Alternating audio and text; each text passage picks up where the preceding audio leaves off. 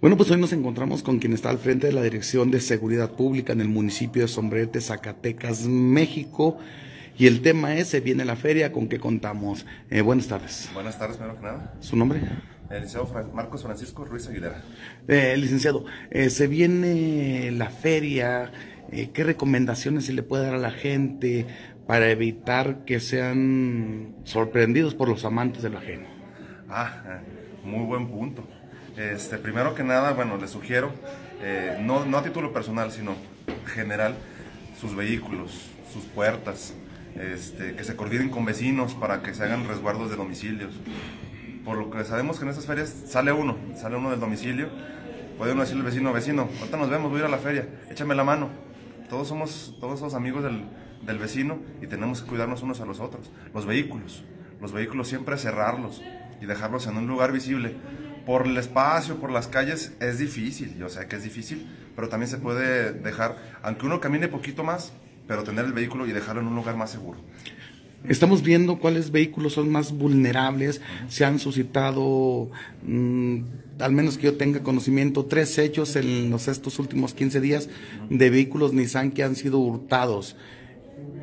Mm, Sí, desafortunadamente la marca Nissan es susceptible mucho al robo. Eh, generalmente son los que son eh, de la línea sur y de lo, del Centra. Ciertos modelos en específico, pero es que también, bueno, yo apuesto mucho a que si la gente sabe que su vehículo es vulnerable al robo, un bastón, un bastón cuesta 100, 120 pesos, hay que, hay que comprarlo. Cada quien, cada quien tiene que ser responsable de su vehículo, aparte que es un patrimonio. Obviamente que las medidas de seguridad se tienen que extremar, pero en esos vehículos aún un poco más. ¿Qué se está haciendo en relación a las colonias aquí de la, de la periferia de la, de la ciudad que están viéndose vulnerables por los amantes de lo ajeno? Una que se encuentra ya en focos rojos nuevamente es la colonia Infonavit y la cantera. La Y se tiene detectado al menos a, a tres, a tres ratas. Sí, lo que pasa es de que en, en- en esos casos yo lo que, lo que sostengo y lo que he dicho siempre en las entrevistas y, y lo que me compete a mí, la denuncia. La denuncia tiene que mucho que ver. Precisamente el domingo pasado me tocó coordinar este, y andar también operando por aquellas colonias.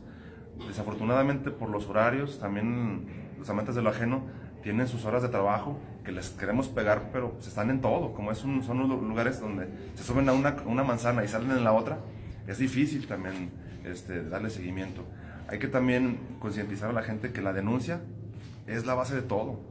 La denuncia. Precisamente en estos días también tuve el reporte y acudimos al reporte de un robo en el cual el- la cuantía del, del- del artículo no era mucha, pero la gente ya dijo, no, pues ya recuperé mi artículo, ¿para qué denuncio? La denuncia, yo le apuesto a que es todo. Y desafortunadamente no tenemos esa cultura. Se viene, lo estamos diciendo, ya estamos a vísperas, a dos días ya que inicie eh, la Feria Canción 2019, licenciado. Viene mucha gente de fuera y vienen bastantes rateros, bastantes amantes de lo ajeno de fuera, carteristas, gente que se aposta a las afueras de los mm, cajeros automáticos para estar vigilando a la, a la gente. ¿Se tiene, ustedes ya contemplado algún, algún tipo de operativo? El operativo, eh, como tal, hay una implementación este, y la solicitud que se hizo a las diferentes corporaciones y los diferentes niveles de gobierno. Yo personalmente acudí a llevar el oficio de solicitud a la Policía Estatal, a Sedena y a Gendarmería, los cuales pues, están este, a la espera también de que comience la feria para llegar a acudir aquí con nosotros y coordinarnos para precisamente enfocarnos en los focos rojos y en los delitos que nos competen. Eh, ¿qué, ¿Qué razón se tiene, licenciado, usted que es un experto en la materia, de que ahora ya también ya se le están dando más garantías a nosotros los ciudadanos que si entra, entra un ratero al interior de nuestra casa, ya portar un arma y a Ah, poder utilizar la Sí, sí, sí. defensa propia? Hubo unas modificaciones en el código, también tengo, tengo entendido. Fue a, a finales del año pasado. Eh, esto es la defensa, obviamente, que del domicilio. Cada quien se hace responsable, como lo manifestaba en lo de los vehículos.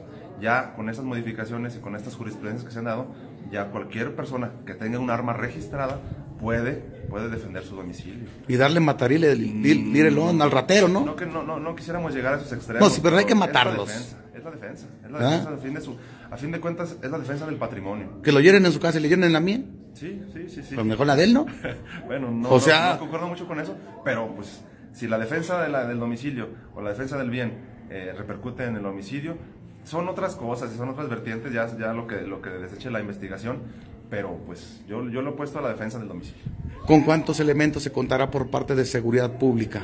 Lo que nos compete al municipio son 45 elementos que son los que están de planta con nosotros, pero nos estarán acompañando ah, policías auxiliares de, los, de las diferentes comunidades. Más o menos estamos hablando de que por día vamos a tener alrededor de 70 elementos que van a estar haciendo rondines por toda la fereca. ¿Qué es, qué es eh, un policía municipal? Porque muchas veces yo, yo desconozco cuáles son eh, el trabajo que realiza un policía municipal. municipal. ¿Qué es seguridad pública? ¿Qué es? ¿Qué encierra? Es un, es un ámbito muy, muy, muy grande, no nada más es este, concretarlo en un policía. Es trabajo social, es proximidad social, es este, prevención del delito, es rondines, es coordinación. O sea, es un campo bastante amplio que pues, nos, falta, nos faltaría tiempo para, para, nombrarlo. Pero las funciones de un policía, en este caso, municipal. lo que nos compete a nosotros municipal, es resguardar el bando de policía y buen gobierno, que es lo que nos compete y es la ley que nos rige como órgano municipal. Es salvaguardar lo que son vías de comunicación, el no grafiteo, el ruido excesivo, el, mal, el, malestar del vecino, en este caso es lo que nos va a competir como, como órgano de la, de la FERECA, regulador. Las, las faltas administrativas son las que nos, nos regulan y la que nos rigen. ¿Qué, ¿Qué, pasa cuando ustedes agarran a un, a un delincuente y vaya que se llevan ustedes como elementos de seguridad pública de mentada, de, perdón por el léxico, de mentada de madre para, para arriba y posteriormente al siguiente día ya anda afuera y se burla de ustedes? Sí, es ¿Qué? que eh, ahí es lo que voy. Hay que diferenciar mucho entre un delito y una falta administrativa. Mm. Una falta, una ofensa, es una falta administrativa, la cual se, se, se sanciona precisamente con unas con cuotas, las cuales son las que nos rigen el bando de policía del gobierno. Eh, desafortunadamente, una ofensa, una mentada de madre como, como lo estamos refiriendo, pues sí, se paga una multa o se priva de la libertad a una persona que son 36 horas. Ya lo que es un delito, lo que es, vamos ahora sí a lo que es la formalidad de un delito, este, son otras reglas, son otras formas de, de actuar y de proceder, a los cuales se les funda siempre con la denuncia. Porque luego la gente luego dice, licenciado, usted que está al frente de la Dirección de Seguridad Pública del municipio de Somete, Zacatecas, México, lo dicen, pues es que los policías luego no hacen nada, están, ustedes se sienten maniatados por ser eh, un policía municipal, que nos, a, a, diferencia de un policía estatal, de un soldado, de gendarmería. Sí, vamos a, vamos a lo mismo, vamos a diferenciar una, unas funciones de otras. Nosotros como bando de policía de un gobierno, que es lo que nos rige, tenemos que actuar bajo, bajo la flagrancia.